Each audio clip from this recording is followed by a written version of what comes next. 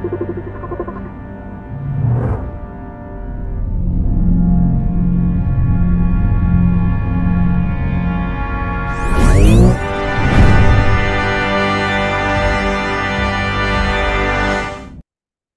fellow travelers, and welcome to Versus Stars podcast. How my loyal listeners, thank you for continued support. And remember, click the subscribe button, everybody. It's an amazing episode because Si Spurrier boards the mothership. We talk the Flash from DC Comics. Come aboard, you traversing the stars. Hello, Mr. Spurrier. Thanks so much for coming to Versus Stars podcast. Thank you for having me. So my pleasure. I'm a big fan of your work, and I can't wait to talk to Flash with you. Hmm. So I always start with a question of inspiration. So, what inspired love of comics and who are your earliest influences? Oh, uh, I came to comics quite late. Um, notwithstanding, you know, the sort of what I would refer to as as kind of kids comedy comics, the sort of cartoony things. Um, I guess I guess I probably was exposed to those when I was very wee. But then it wasn't until I was like 16 that I kind of stumbled upon um I think it was Judge Dredd versus Batman, uh, Ooh. Judgment on Gotham. So Simon Bisley, um, you know, the sort of extremely hench, muscular, painty vibe at a time when I was very into creative writing and art.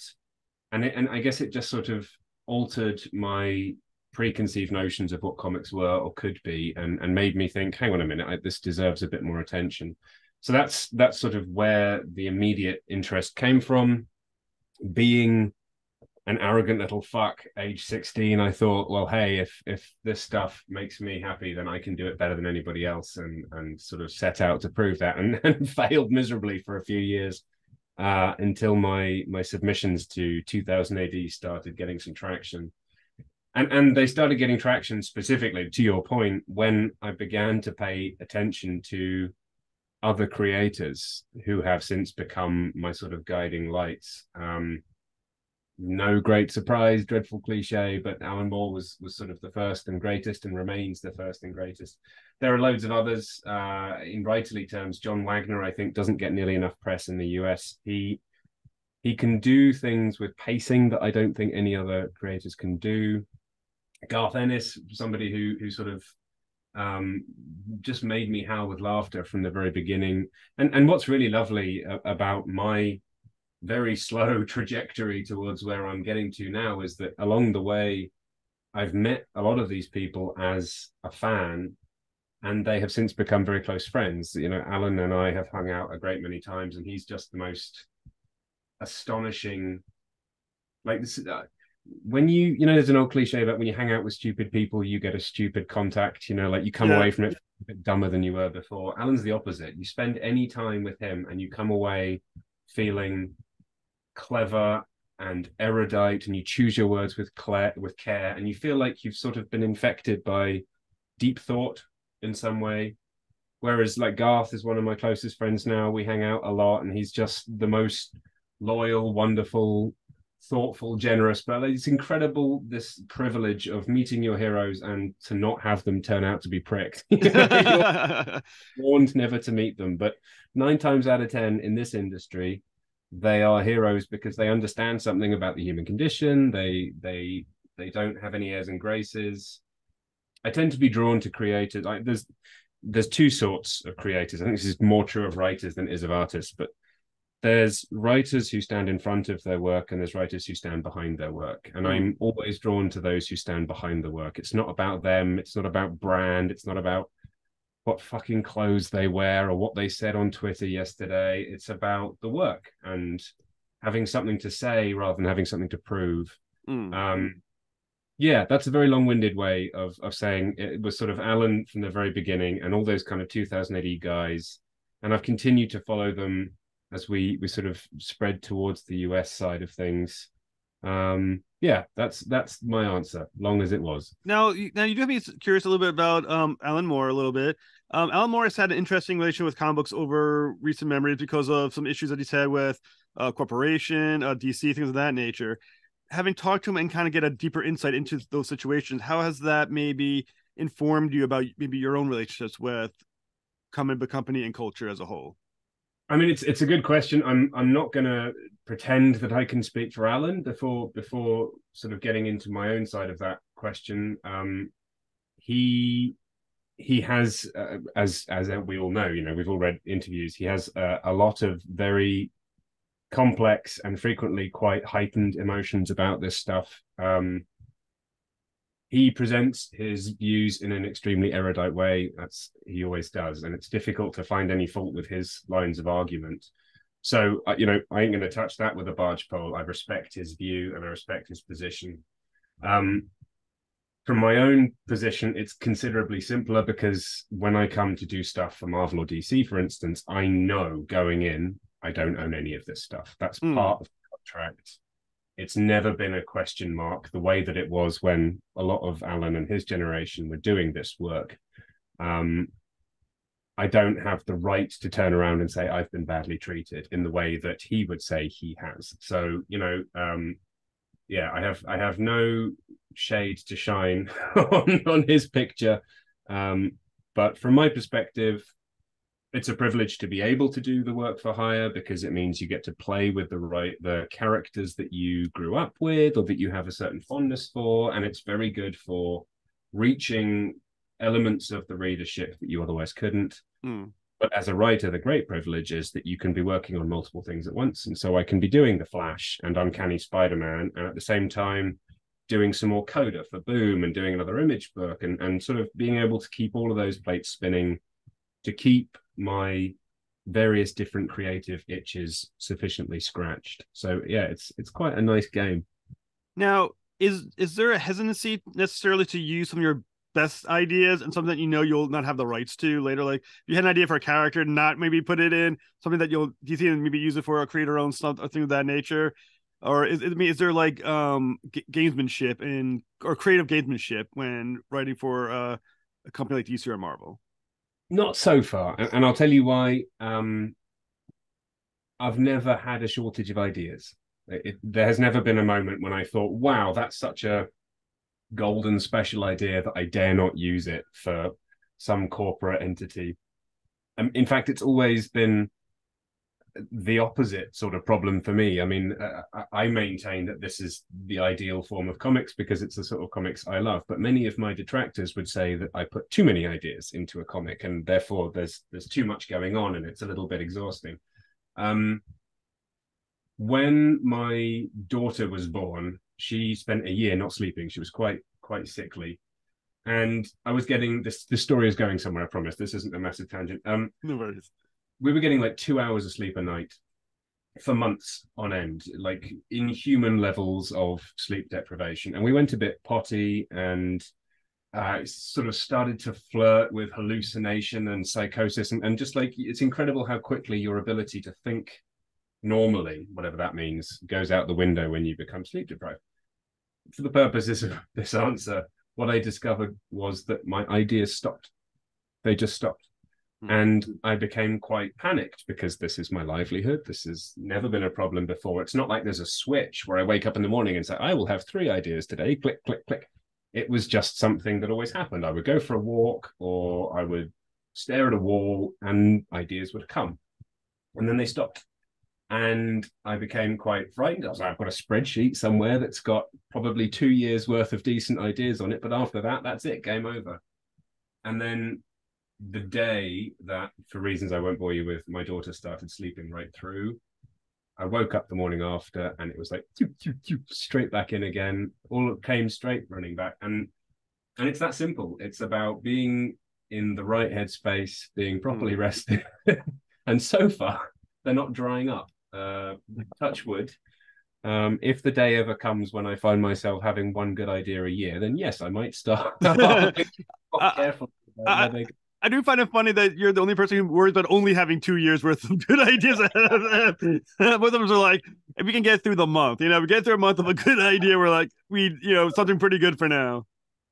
the funny thing is, I mean, I've, I've said there's no button, but you you sort of can force ideas. I think if you just sit down and stare at a blank piece of paper until you hurt something will come. Even if like there's different strategies, scribble away, make some notes, see what happens, see what forms out of the nothingness. Uh, oddly enough, it happens when you stop wanting it to happen. Like if I sit and stare at a blank wall for an hour and just got nothing, I'm like fuck it, and I'll go and go for a walk and just try to think about nothing. It's that moment that the idea Hmm. will. I suspect you need to build in empty space. Your brain needs to percolate about nothing so that it's unconsciously rumbling away, and that's what gets the, the sort of mechanism of idea to work. Maybe I don't know. I'm not a psychologist. so how much also of writing is organization i mean you're you have you're writing multiple titles you're deep in it's you're steeped in continuity in all the you know especially like i said uh with your spider-man uh with you're running with the flash how easy is it to lose a continuity thread in what you're working or or accidentally um wind them together that you're mistaking what you were moving in one direction one series that, with what you're doing in another one I mean, it's. I think it's a learnt skill rather than an innate skill. I think you become very good at spinning the plates, changing gears. You know, I, I'm at the moment I'm working on a slow burn horror book, a high octane action book, a street level crime book, uh, blah blah blah. And if you can't finish an issue of X and change gears to an issue of Y, then you're doomed. You know, that's that's the nature of work for it's the nature of any publishing, but especially work for hire publishing. Um, you just learn it. I think you you get good at that.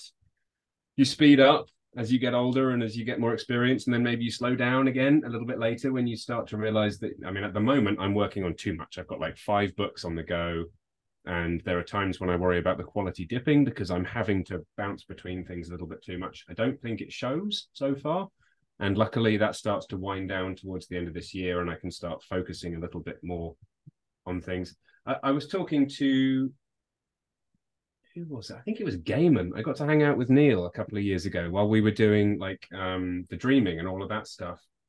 Now, don't quote me on this because I might be wrong somebody, I think it was Neil, told me that when he was writing Sandman, he was taking like a couple of weeks per issue, presumably because the money was better and you can afford to take a couple of weeks. Whereas these days, most writers in in like monthly publishing comics will will only get a week at most to work on a single issue. Um, and I know some who are doing like seven or eight books at a time, which just makes me sob at the very idea. So people move at different speeds. Different sorts of comics take different amounts of time.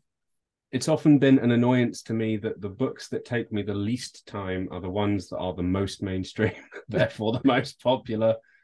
Uh, a lot of editors will say to me, "Si, can you just dumb it down just a little bit? You don't have to work so hard. Just just take it a bit easier."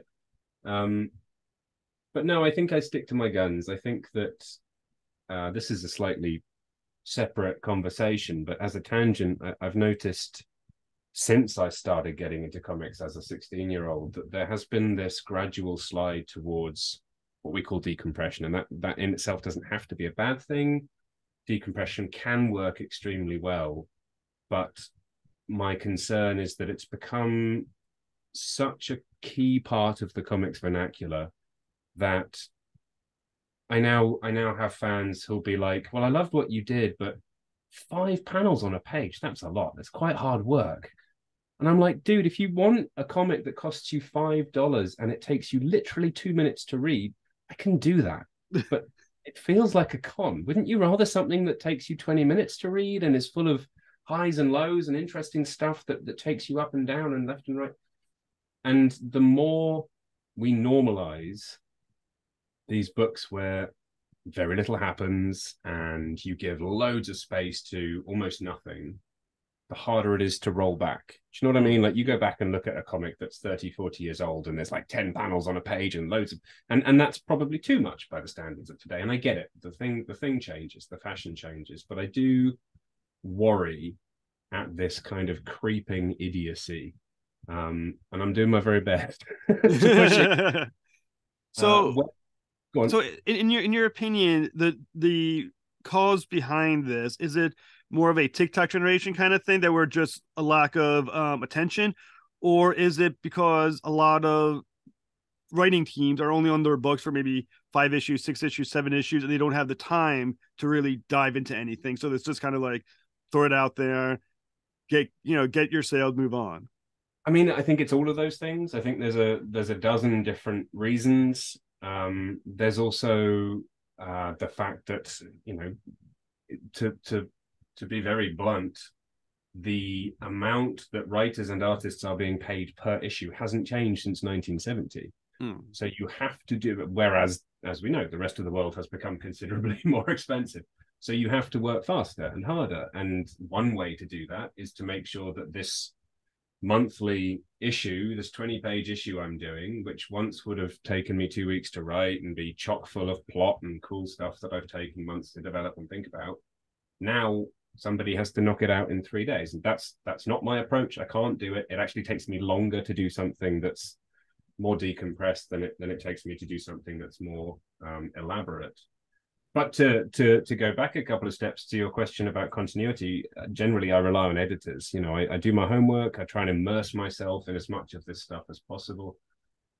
It's not possible for every potential writer of a brand to know everything about a character when they come aboard. Mm. I don't pretend to have read every single Flash comic there is. I've done my very best to read the the good stuff.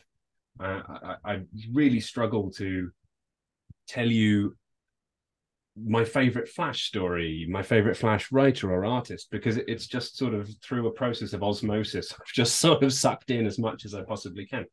But if I mess up, my editor will tell me. I hope.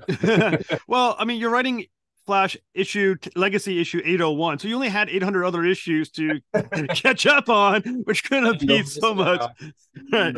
That, that's not counting the miniseries and the Justice League issues and the um annuals and spin-offs and all that. So I mean, it's, this can't be that much time needed. in an afternoon and plowed through. Right. so to, to, to go to the Flash, so like I said, you're the writer of the new Flash series. Um, technically issue one, but also Legacy issue 801. Um, so how do you get involved with the Flash, and what was the what was the exciting pitch that either they gave to you to get you on the board, or that you gave to them to get yourself on board? It was the latter. Um, I can't speak to the thought processes behind the scenes, but um, my guess would be so Jeremy Adams had done like a, a three year run, an absolutely spectacular three year run. You know, if if if you haven't been reading The Flash and you're intending to come aboard when I start, then you should also go back and read some of his run because it's it's just the most joyous um celebration of what it is to be both a superhero and a person. It's it's mm. that you know it's that what made Peter Parker such a big deal at the beginning. You know, it's the sort of the juggling of the life with the spandex, and, and it works really nicely. Um, my assumption is that somewhere behind the scenes, somebody said, "Well, that's a three-year run. That's incredible by today's standards. There's a movie coming out. There's a TV show. If we don't do some big new direction now." Whenever will we? Do you know what I mean? Mm. So I, I, don't know how many people they went to and said, Do you have a pitch for the Flash? But I was certainly one of those people. And I didn't expect to get it. I was too busy. I was like, well, I'll I'll write a pitch that I would love to write, but I don't think they'll go for it because it's mm. it's just a bit out there.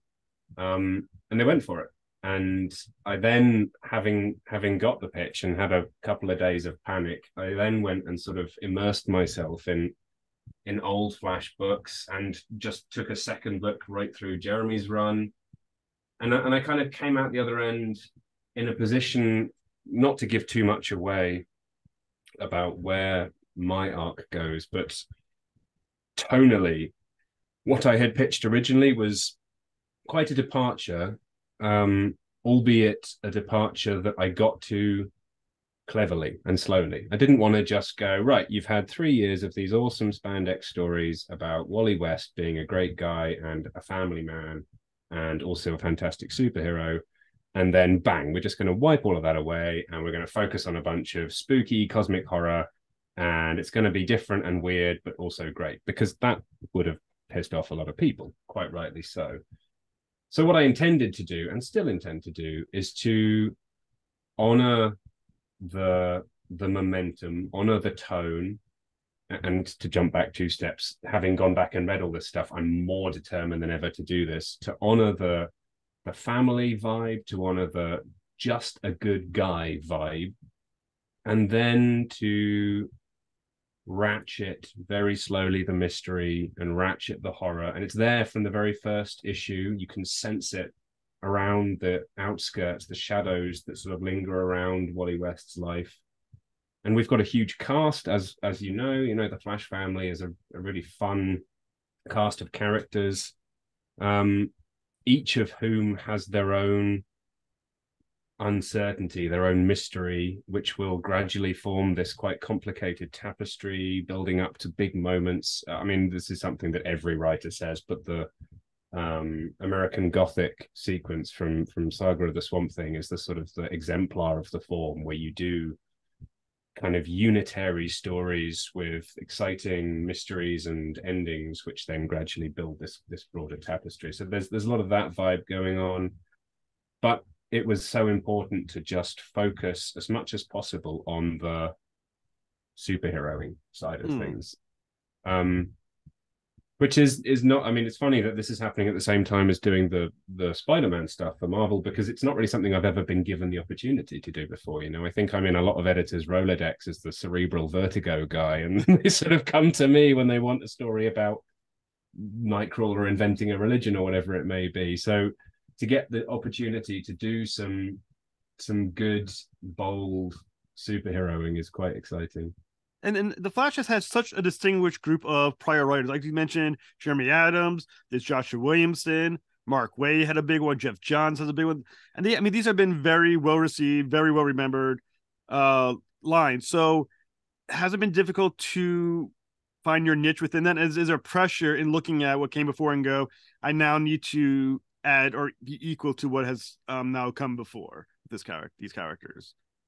I mean, yes, it's daunting um, as a result of them having greenlit my pitch specifically, the pressure is off to to try and emulate other voices.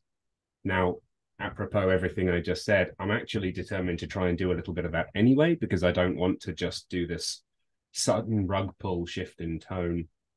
Um, that said, you don't have to go very far in the, the flashback catalog to find glimmers of the sort of stuff that I'm interested in. You know, um, I'm quite fond of the the Morrison Millar run. You know, where they were just uh, we're going back to ideas again. You know, God forbid my daughter stop sleeping because I'll be missed. One of the really important things that you want out of a flash book is ideas, lots and lots of ideas that are interesting and sciency and they make you think sideways and they're all happening all at once. And generally speaking what saves the day from this exciting cloud of big sci-fi thoughts isn't that a guy can run really fast it's that he can think fast or that he can think differently or that he has a family or that he is uh, emotionally mature or whatever it may be. And that's that's sort of what interests me about characters like wally. You could argue that his ability to run really quickly is the least interesting thing about him. And and i mean it's clearly not the least interesting thing about him but it's not the most interesting thing about mm. him. And i think that makes a really vibrant fertile soil to tell stories in. Now also on on this on the team with you is i'm going to say the name probably right mike deodato Probably got that's it wrong. I, okay, so all right, cool. So uh, well, at least I'm in the ballpark, or at least I can point blame somebody else. But like that's what he said. uh, so I mean, and anyone who knows him, I mean, going back to I think when I first, if I'm if I'm remember correctly, when I first learned about Mike Deodato, he was doing Glory for Image. So this is going back like for a while. I mean, he's a veteran. He's a, a star artist. When you know you have someone with that kind of pedigree behind you doing the artwork what is how does that impact your approach? Do you are you able to kind of relax how you want to do something or do you just kind of know that he has your back um or visually? I mean what is it like working with someone at that level? Um it's a very good question. Uh it, it's not a simple answer i'm afraid. The well okay the simple answer is it depends on who you're talking about. And um there's always a little bit of anxiety when you start working with somebody for the first time generally speaking, the best work I have done has been with artists with whom I have an existing relationship, with whom I've worked previously. I'm thinking about Matías Bergara, with whom I work on Coda and Hellblazer, Aaron Campbell, who did the Hellblazer stuff with me. However, it is inevitable in all work for hire comics that at some time an editor will say, "We love your pitch, but we're going to put you together with this artist," and you you learn that if your pitch is strong and your editor is good, you devolve your instincts and your uh, desire to choose to other people, and generally speaking, it works out really well.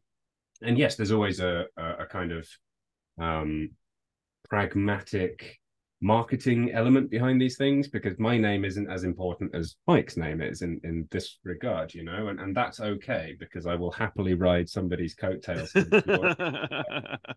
um, luckily, Mike is a consummate professional. He's as versatile as you can be. He spent years crafting a sort of he calls them Mondrian squares, Mondrian lines, which are it's like a, a, a quite unusual approach to panels. And I'm hmm. not going to bore you with my my whole sort of quasi magical scientific theory about the way that panels mess around with time and space. But Mike understands it instinctively, and he utilizes um, panel borders as a way of sort of progressing emotionally through a page, which is quite quite wonderful and works very nicely in a flash comic specifically where there's so much um, importance placed upon movement and speed and stillness. I mean, that's that's the the real key. When you have a character who is moving so fast all the time, you hmm. have to you have to understand how a beat can fall when everything stops, and, and that's there's a lot of a lot of the ideas I'm playing with in this arc are about stopping and about just saying enough is enough. Um, so yeah, he's he's fantastic. He uh, he's characters act extremely well. He takes notes amazingly well, which makes me happy because you can work with artists who really don't take notes very well. Um, yeah, no complaints. Uh, super excited about the way that he's designed a lot of the really big, strange things coming down the pipe. Um, I think it's going to be it's going to be a very beautiful book. You know, I, I, I am wondering about the special powers that you apparently possess. When you were talking about Flash slowing down, you actually kind of froze and it kind of strobed out for a second. I was like, wow, he's really into this. Look at yeah. this. So, I was like, wow, he, yeah. he, he, he's literally controlling it himself. um. So, anyway, uh, start blurring and behind. Right. so, um, in the preview for the book that um I read, it references a mind shattering terrors is, is the phrase that's used. Now we just came out of the Night Terror storyline, or, or getting, or like halfway into the Night Terror storyline in DC. How close is what you're exploring with Flash connected to what we're just coming out of with Night Terrors? Um,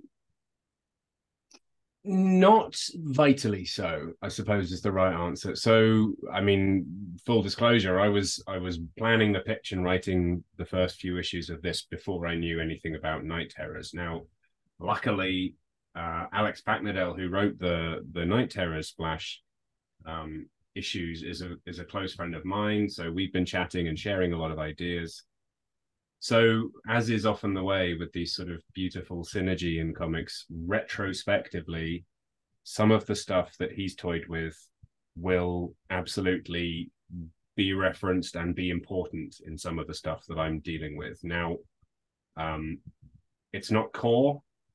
You don't have to have read Night Terrors in order to jump aboard. You certainly don't have to have read anything Flash oriented to jump aboard. I'm trying my hardest to make it all as user friendly as possible but it is wonderful to be able to tip your hat to bygone stories, recent continuity. I always say that continuity at its best should be like an Easter egg to the dedicated fan rather than a hurdle to the novitiate. Um, if you can't drop into a story and love it, then the writer's doing something wrong. So, mm. um, Paknadel's tale is awesome. Um, the art's beautiful, and I think that yeah, we will we will be borrowing certain of his his lingering ideas in the future. Now, one other issue that the Flash, and not really an issue, but one situation the Flash does have, um, be due to um, you know, the recent events of the last like 20 years, whatnot, is the issue of two Flashes. You got Barry Allen Flash, who still exists as the Flash. You got Wally West still existing as the Flash.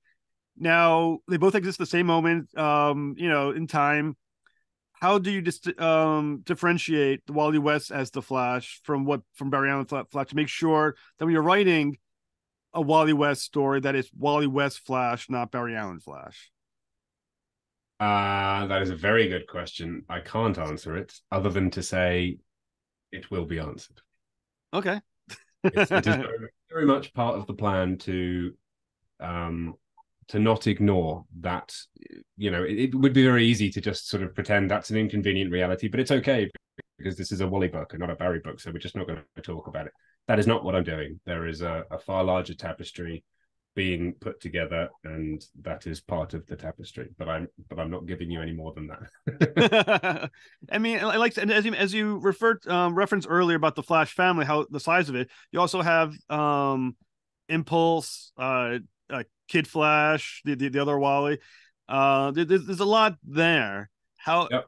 is is it too many characters to make sure each one has enough time to be their own character no, I, I think it's um, it's weirdly liberating. I mean, you must remember I, I've spent the past few years doing like X Men comics, where the the necessity to feature every part of a team is quite high, you know, and that can be that can be exhausting because you, well, I want to go deep into the psyche of a, a core character, and if you have 800 of the bloody things, then there's no time to dig deep into into all of their lives.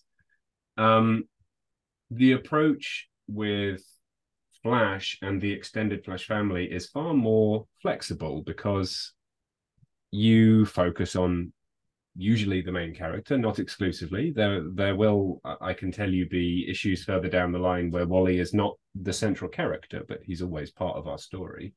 Um, generally speaking, we focus on Wally and we touch base with the other characters and what they're doing. And some of them will all come in at once, some of them will be referenced in the background here and then pop up over there. And if I'm doing my job right, I'm gently teasing out multiple plot threads at once, sometimes in a way that won't even be obvious, so that a, a very innocuous appearance in issue X becomes a really important thing in issue Z. Um, and yeah, it, it also means that I can pivot if I feel like I really enjoy dealing with this character. I can focus on them for a little while. This is all assuming I get more than six issues, which is not not certain in today's climate. But let's yeah. let's assume I've got a little bit more to play with, um, and that's wonderful to to sort of be able to say, I have a cast of characters. I can dip in and out of their lives as long as there is always a, a, a sort of central thread. Generally speaking, that's Wally's thread. Um, yeah, it's really nice, and it, it's kind of a little bit like, I mean, hey, I'm a father. You sort of you do get used to to sort of spreading your attention around in a, in a kind of family sense but you, you know the world is still being seen through your eyes you can't change your perspective but you can change the different ways that you borrow other people's pictures of the mm. world um yeah, I'm really enjoying it. And and there's something to be said for all the different takes on on the sort of speedster archetype. You know, I said it before about Wally, and, and it's true for all of them. Being able to run fast is not the interesting thing about most of these characters. It, it's kind of what brings them all together, although most of them are related to each other. I've seen that fiendishly complicated family tree. It's uh it's mind blowing. But um yeah it's it's about a collection of people who choose to be affectionate and mm. collaborative and and to fight the good fight together because they are aware that they are greater than the sum of their parts um i'm very fond of max mercury for instance like it's one of my very favorites because the rest of them are are sort of heroic science fiction archetypes whereas max has that whole kind of hokey spiritual thing which I find quite useful for the the purposes of my story. Which you know, not too much of a spoiler. I've always been fascinated by the notion of the Speed Force, which like it's it's been defined about eight thousand times, and no two definitions agree with one another. It's like a it's like a living contradiction, um, and that to a to a writer who enjoys subverting ideas, bringing big ideas to the table, messing with genre, something that is that big and that important to the the kind of lore of of this group of characters but that is so convolutedly imprecise is like a red rag to a bull. You know, I want to go towards that and I want to stick things in it and I want to see what happens. So a lot of that is going on, but it always through a very human filter. Now, another um, complication in my, I mean, as far as I know, I've never done it, is running for the Flash, is the Flash power. Um, I, I have had the, I guess I have too much free time in my hand. I've had debates with people, and I and I've tried to argue with them the difficulty in fighting someone who moves quicker than the the visual light will hit your eyes, can process information, and let, allow the brain to re- let you react to the problem in front of you. He's faster than your ability to react to him. That's quite a power. Now, not just, I mean, even beyond that, I mean, at the speed that he moves, a slap could shatter your atomize your brain. You know, I mean, he's he's quite he's way more powerful than most writers give him credit for. How hard is it to find? I mean, his role gallery is famous. I mean, um, you know, Heat Wave, um, uh, Captain Cold. But at the same time, he should be able to beat them pretty easily because he can move quicker than the gun is going to do anything.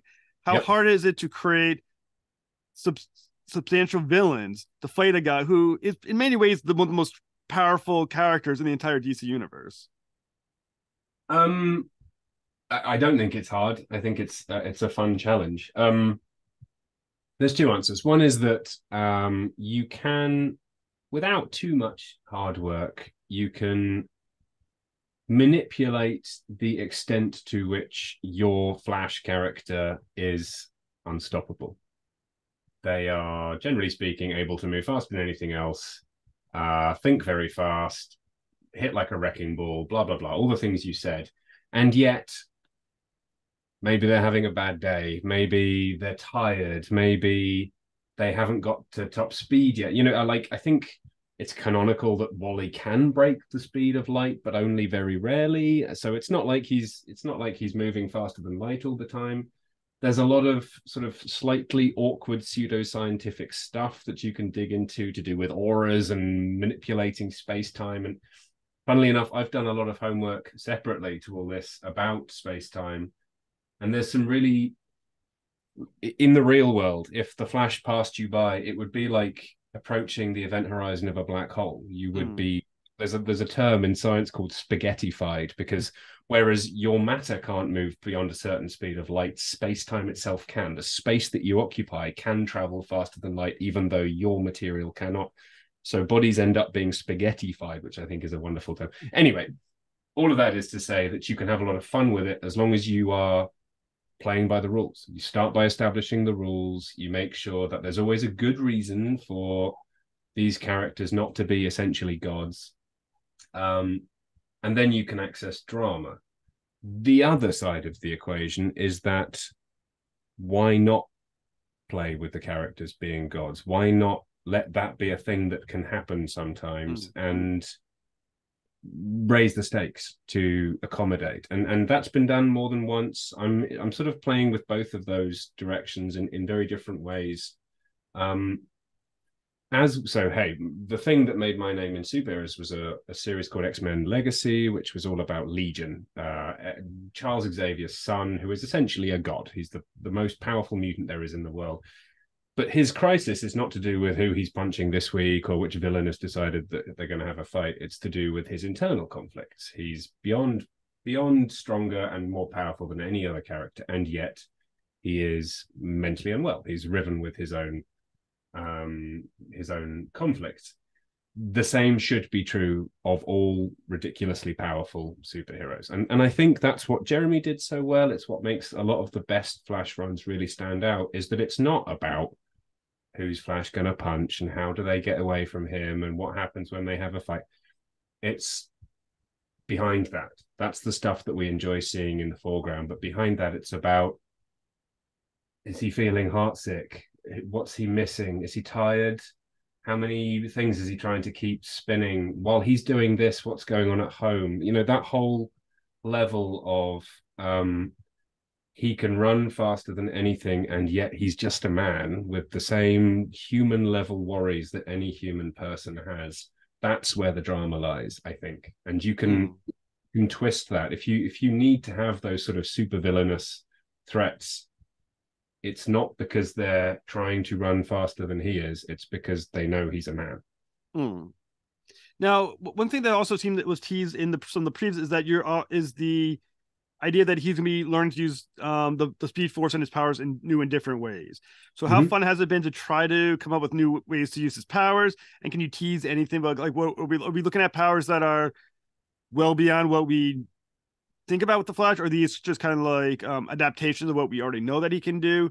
So, c- can you tease a little bit of that? Um, I really can't be very specific. Uh, I guess the the sort of the tease. Um,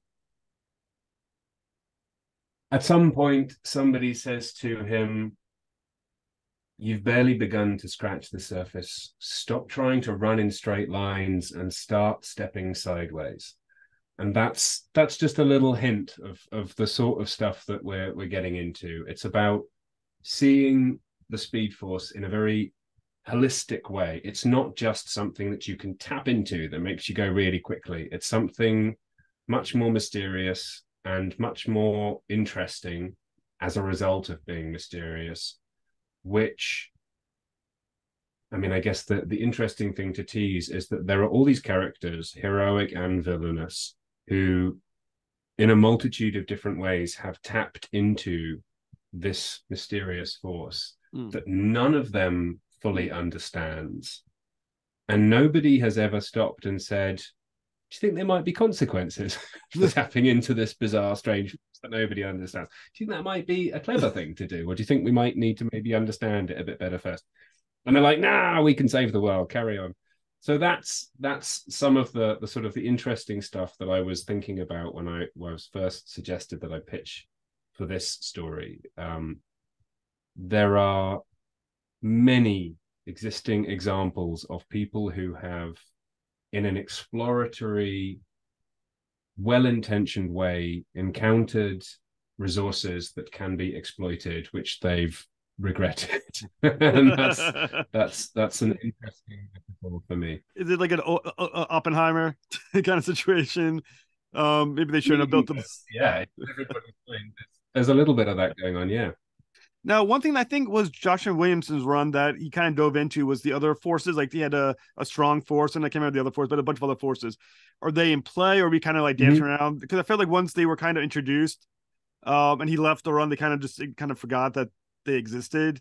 After that, is that something that's also in play, or is it that's kind of a storyline that we're going to kind of let it's being let to rest with that um, run? I'm not I'm not going to ignore anything that is relevant. Um, they will certainly be dealt with. Let's put it like that. They will be they will be referenced and um, creatively worked into my tapestry. So, as we mentioned a little bit earlier, um, runs of ongoing titles right now are incredibly short. So, how far ahead have you been told that to plan for, and how long do you are you intending to be on board for? Uh, I mean, I'm I've got enough enough material to go for at least two years and and hopefully more. So you know, I'm being ambitious about that. Um, I'm I mean, hey, there's there's nothing to say really. I at this point, it's keep going. Nobody has told me make sure you wrap it up by six. Um, I, it's too early to know what numbers are like for one, so so there isn't really any any good gossip to share on that regard. Um, I think we'll I think we'll go strong. I think we'll certainly get past that first arc. Um, I'll be screwed up if we don't because I'm I'm certainly intending to get beyond that. My ideas are far bigger than than I want to try to constrain. Um, beyond that, I don't know. Uh, it wouldn't be the first time I've been told to wrap up within, you know, three issues. I don't think that's going to happen this time, but I I can make it happen if I have to. Okay, well, uh, Mr. Spurrier, like I said, I'm looking forward to what you do. The Flash. It's um, it's is it September uh, twenty Yeah, twenty seventh, I believe. twenty seventh? Maybe it's because like DC's Tuesdays these days, isn't it? So I guess that's uh let's see, that's the twenty sixth. 26. All right, Yeah. very cool. Mr. Spurrier, it's been an absolute honor to talk, talk to you, sir, without the Flash. And hopefully, when we get some more issues in that we can discuss directly, you can, can come back on the show. Stop teasing you with answers I can't give. Right. and then you'll just team with different answers that you can't get for the next six issues that come after That's those. right, yeah, yeah. Window of mystery. Yeah, no, it's been a great pleasure. Thank you so much. Have a great day, sir.